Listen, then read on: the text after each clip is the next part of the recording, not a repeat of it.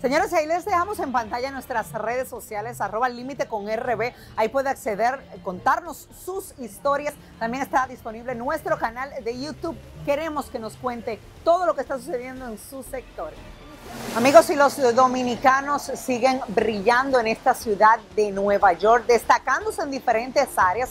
Uno de ellos es la política, donde jóvenes han incursionado y han logrado escalar importantes peldaños. Una de ellas es Carmen de la Rosa, quien recientemente ganó las primarias demócratas por el Distrito 10 como concejal. Así que vamos a conocer un poco de su historia en una entrevista que concedió para nosotros en Al Límite.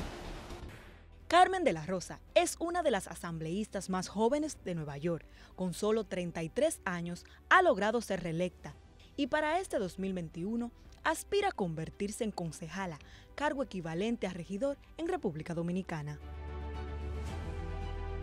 Le damos la bienvenida. Gracias por estar aquí. Sí, me siento orgullosa del trabajo que hicimos. Esta es una comunidad que me vio crecer y me siento endeudada a ella eh, por eso el empeño de trabajar, de superar. Hemos pasado por un momento difícil con esta pandemia y el empeño es una recuperación justa para que nuestra comunidad pueda seguir adelante. ¿Qué te llamó a irte a la política? O sea, pudieras estar, no sé, comerciante, haciendo cualquier otra cosa. Bueno, primero creo que como toda buena dominicana, lo que es el merengue, la bachata, el béisbol y la uh. política, lo llevamos en la sangre. Eh, siempre me, me, vi el ejemplo de mi padre, que fue bodeguero en esta comunidad, muy dado a su comunidad, y eso me inspiró a seguir un paso donde la comunidad siempre fue primero y por eso incursioné en la política y tengo mentores como el congresista Adriano Espaillat, el, el, concejal Idanis Rodríguez, que me ayudaron a estrechar este paso. Wow. El hecho es que no solo eres tú, también hay cinco más, son seis en total. ¿Cómo te sientes de que tantos dominicanos de renombre estén ahí en la política? Bueno, yo lo que digo es que ha llegado la alegría,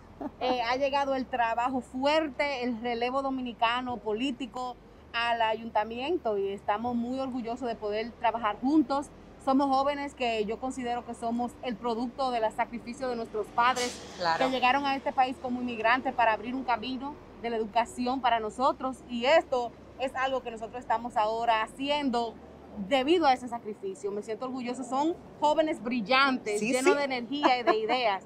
Así que el futuro de Nueva York está en buenas manos. Me gustaría que me cuentes algunas de tus propuestas. ¿Qué quieres cambiar? ¿Qué quieres mejorar? Claro, bueno, mira, primeramente estamos aquí en una plaza eh, comercial, pero también peatonal para las, las comunidades.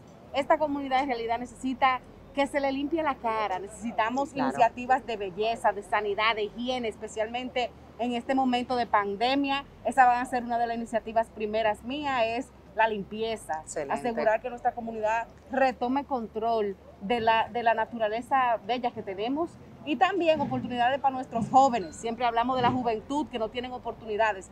Nos toca a nosotros, los gobernantes, los oficiales electos, abrir esos pasos para los jóvenes. ¿Qué mensaje le lleva a esos dominicanos que dicen, wow, pero ella tiene 35 años y ya es concejal? Bueno, que ha llegado a esta posición por el apoyo, el cariño, el amor y la inspiración de todos ustedes. Sepan que en mí tienen una hija eh, que va a seguir luchando para que nuestra comunidad siga hacia adelante. Tú naciste en Santo Domingo. Dime un poquitico, brevemente, la historia de cómo llegas aquí. Bueno, yo nací en las terrenas de Samaná. ¡Uy! me eh, encanta. Sí, desafortunadamente quedé huérfana a hacer, eh, cuando nací. ¿De padre y madre? De padre y madre. Entonces me adoptaron otros dominicanos que son de Montecristi. Y migramos hacia aquí porque querían una mejor educación, una mejor posibilidades financieras, económicas. Y entonces hicimos del Alto Manhattan nuestro hogar, igual que muchos de los dominicanos que llegaron en ese entonces.